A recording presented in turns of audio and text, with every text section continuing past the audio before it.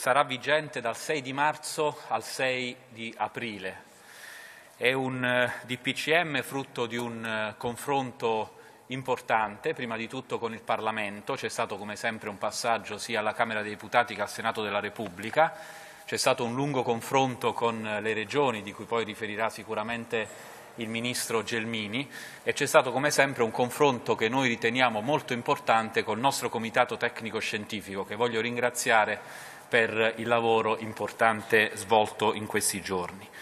Il principio guida del decreto del Presidente del Consiglio dei Ministri è quello della tutela della salute come questione fondamentale, come faro, come linea guida essenziale